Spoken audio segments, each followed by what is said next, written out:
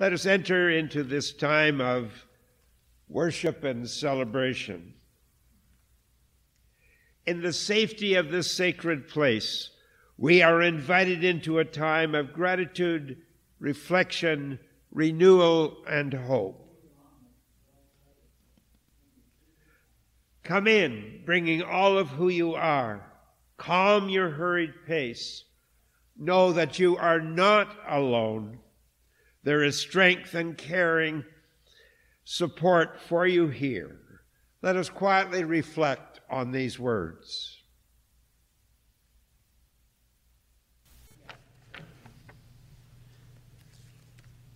Today, in fact, this entire long weekend, we celebrate Harvest Thanksgiving.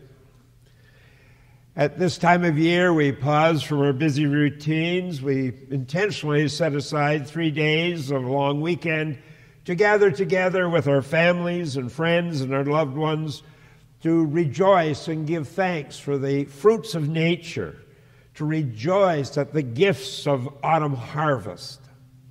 This morning's readings from the Old Testament, the Hebrew Scriptures, tell us that this idea of celebrating the harvest is as old as the lawgiver Moses in the book of Exodus. Thanksgiving, celebrating this day, is an ancient tradition, and it is good and right that we should do the same. Yet, Thanksgiving, when you think about it, isn't something we should pay attention to and do only once a year do it once a year and then put it all behind us until next year.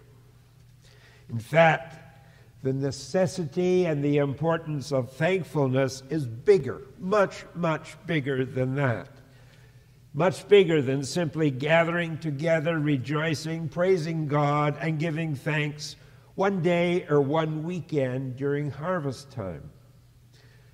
As this morning's New Testament lesson, the 17th, from the 17th chapter of Luke's Gospel points out, our gratitude as people of faith, our gratitude as followers of Jesus, our gratitude, even if we are secular people of goodwill, should be a way of life.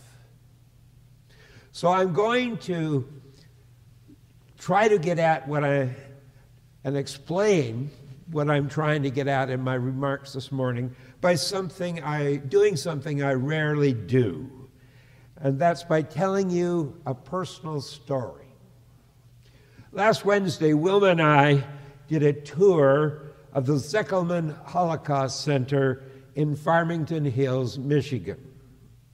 We are accompanied by our son Jason and his wife, who majored in museum studies and is employed there. As you might guess, through its artifacts, the archives, its state of the art technology, and other things, this story tells a horrible, the horrific, the tragic story of Hitler's Nazis and the Holocaust in Europe between the years 1930 the years the 1930s and the 1940s. We began our tour at the very beginning by inspecting a railway car, a box car, A box car that was used by Hitler and his Nazi henchmen to transport Jews and others to labor camps and death camps all over Europe. And compared to today's boxcars, it's surprisingly small. Nevertheless, 100 people, men, women, and children, were crammed into that car. It only had one tiny window. There was standing room only. No place to sit, no food, no water, no toilet facilities. All that for the days long journey to slavery and death.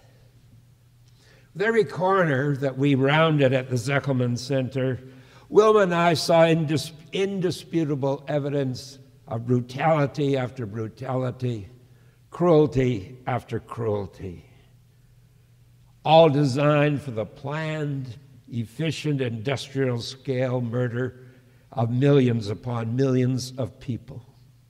Yes, most of them were Jews, but there are also, the Zekelman Center makes this very clear, there were others Jehovah's Witnesses, the mentally ill and physically challenged, socialists and communists, homosexuals and lesbian, Russian and Eastern European prisoners of war, ministers and priests, and anybody else Hitler's efficient Nazi killing machine deemed to be its enemy. Yes, the tour of the Zekelman Center, that museum, was educational. And it was deeply moving, but not in a good or a positive way. After three hours approximately of touring the place last week, I went through a whole host of emotions. The first one, and it started with that boxcar, became anger anger at the human capacity, the willingness, and sometimes the eagerness to commit genocide against groups of people. Anger at twisted, perverted political and economic ideologies. And then my anger faded. It faded, went to frustration and then it was just an overwhelming sense of sadness. Sadness. Then, as I neared the end of the tour, the remnants of the anger plus all that sadness turned into something else. And the only words, it's really beyond description, the only words I have for it are deep and dark depression. And finally, after three hours were up, I could see a bright light ahead of me. I thought that was an exit door. You know, and I was really, really happy to see that. Happy to see it because I'd had enough. I just wanted to get out of that place. It was all lit. I headed for it. It was not an exit door at all. Instead, it was, we came out of the darkness of Hitler and the Holocaust into the brightness of an Anne Frank display. And what I thought was an exit door wasn't an exit door at all. It was a gi- giant window. And as you looked through the window, you could see this horse chestnut tree. And I, I found my feelings starting to change, and I thought, what's this deal on this horsenut chestnut tree? And there was a write up on the side, uh, beside the window, and I'll just share some of that with you. It said, after introducing us to Anne Frank and excerpts from her diary and pictures of her and her family, this is what this said. Though Anne Frank and others hiding with her could not go outside, they could see the branches of a chestnut tree in the courtyard outside the secret annex in Amsterdam. Goes on to say on September 23, 1944, Anne wrote these words From my favorite spot on the floor, I look up the blue sky and the bare chestnut tree on whose branches little raindrops shine, appearing like silver. When I looked outside, right into the depth of nature and God, I was happy, really happy. This right on, right up goes on to explain that a windstorm tore down the original tree that Anne was and her family could look on in Amsterdam when they were hiding from Hitler and the Nazis. But they managed to save seven saplings. And the tree that we were looking at through the window was one of those saplings that had matured and grown. It had become a living memorial to Anne Frank and to all the victims of the Holocaust. I looked at it quite a while. And I could feel something happening way down deep inside me. In spite of the ugliness, the suffering, and the horror and the brutality, and the inhumanity that I had been exposed to in exhibit after exhibit after exhibit, I could sort of start to feel the anger and the frustration and the sadness and the depressions just sort of slowly draining out of my heart and my soul and my body. And I looked for a few short moments at that tree. I looked and I looked. And then I went to the next exhibit. That next exhibit just lifted my spirits. The last one was how the world had said, never again, never again. It featured the Nuremberg trials, the United Nations and governments and people of goodwill all around the world taking steps so there should never again be a Holocaust. When I saw that, plus the Anne Frank display, I felt another powerful emotion. It wasn't happiness, it wasn't relief, far from it. All I can describe it as was a sense of appreciation, a sense of thankfulness, a sense of gratitude that at the end of the day, the spirit of Anne Frank and the human spirit of goodness and decency and dignity and justice could survive the worst the Nazis and their ilk could throw at it, but it could overcome and triumph it, over it. I spent a lot of time this past week looking back and reflecting on that experience. I owe the Zekelman Holocaust Center a great big thank you because it gave me feelings of appreciation feelings of gratitude. You know, there's a lot to be said about being grateful. There's a lot to be said about having an attitude of gratitude and cultivating a lifestyle of gratitude. Several studies in the sciences and social sciences have shown that being grateful, being grateful makes us happier and healthier as individuals being grateful makes us stronger as a church community. And Diana Butler Bass's wonderful book with the title Gratefully sums all this stuff up beautifully. This author explains that living a life of gratitude in a medical sense, in a medical sense, gives us stronger and healthier hearts. Living with gratitude reduces the possibility, the risk of heart disease. And heart patients who have cultivated an attitude of gratitude sleep better, they feel less depressed, they suffer fewer inflammatory side effects. In short, from a medical perspective, a grateful heart is a healthy heart.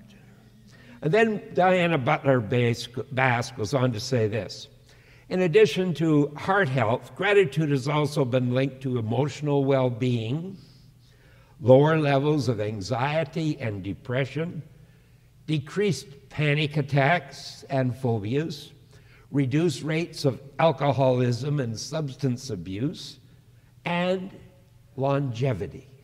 Yes, people who have a grateful heart live longer, actually live longer than those who are ungrateful. And that's not the only, the whole story. Stories show, or studies also show, great, grateful people have greater self esteem, stronger willpower, more meaningful relationships, deeper faith and spirituality, and believe it or not, improved academic and athletic performance. And overall, grateful people are happier than ungrateful people. Gratitude. Gratitude. Well, what is gratitude? It's a feeling. It's a feeling of the heart and soul. It's a unique emotion. It's a feeling of appreciation for people and things.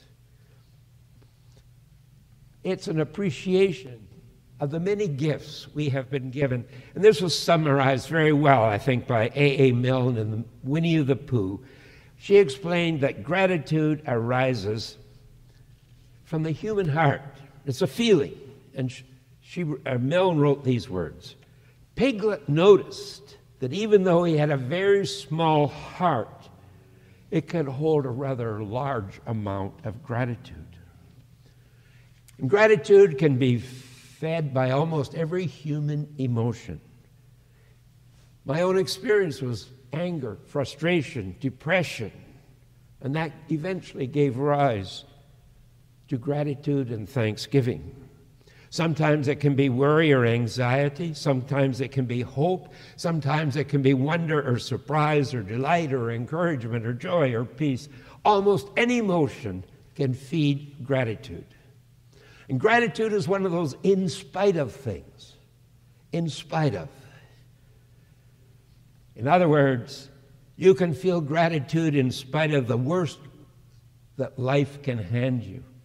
You can feel gratitude in spite of the challenges and the difficulties and the heartbreak you're experiencing in your life. Think about it. When did you feel gratitude this past week? When did you last feel gratitude? Maybe it's when you had a cup of tea with a friend. Maybe you saw a beautiful maybe you saw a beautiful rainbow or a sunrise. Maybe you watched kids play in the park. Maybe you know someone or you yourself got a positive medical diagnosis. Or maybe it's when you gathered around the table. Maybe other times when someone gave you a bit of encouragement, or you got an unexpected email, or maybe a greeting card.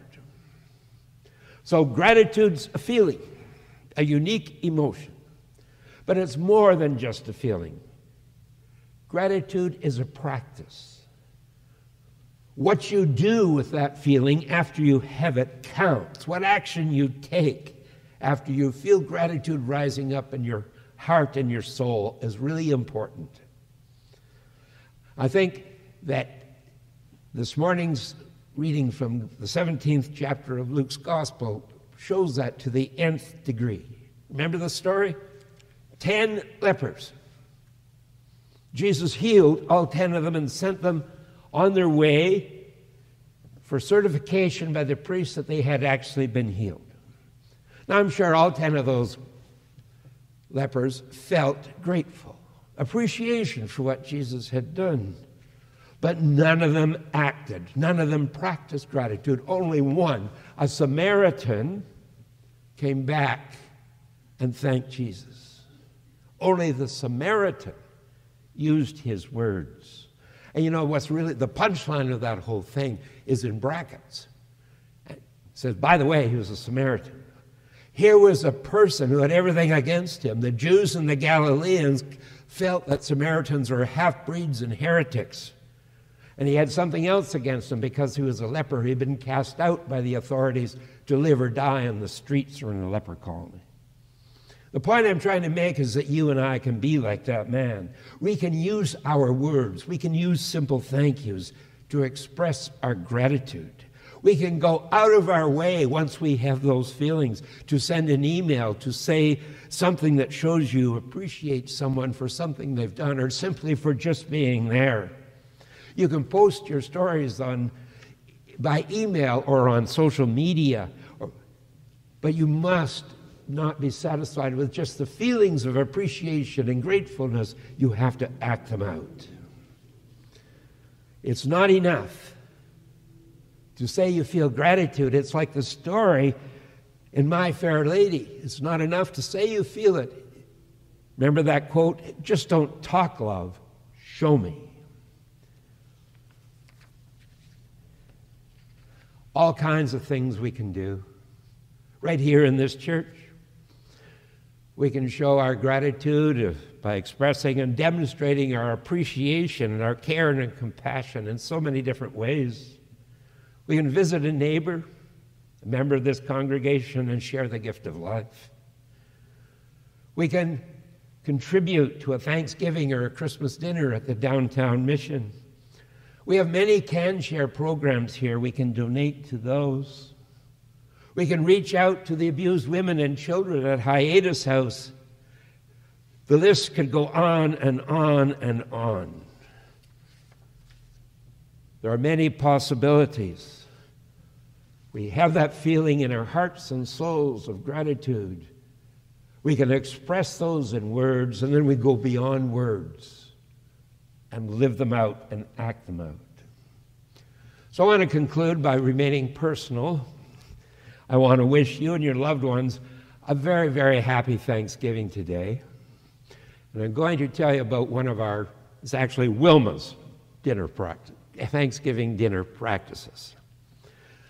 As our family members gather around the Thanksgiving dinner table, Wilma insists that each one of us tell all the rest, answer this question What are you grateful for? Now, sometimes this is easy. Sometimes, for some people, it's like having a wisdom tooth pulled. But when we do it, when we finally get around and the last person has answered, What are you grateful feel for? There's a sense that, yes, gratitude's a feeling, gratitude is what we can express. But most important, gratitude is something we take act. It's expressed also in our good deeds. Gratitude's not easy. Gratitude is like having a garden. It takes planting and watering and weeding. It takes time and attention. It takes learning. It takes patience. It takes routine. But eventually, eventually, gratitude blooms and we can harvest it. This is Reverend Dell Stewart. I hope you enjoyed this audio presentation of today's time of worship and celebration. If you did, please click the like button. You can also click on subscribe to make it easier to find our channel and click the bell to receive a notification each time a podcast becomes available. Peace and joy now from Westminster United Church in Windsor, Ontario.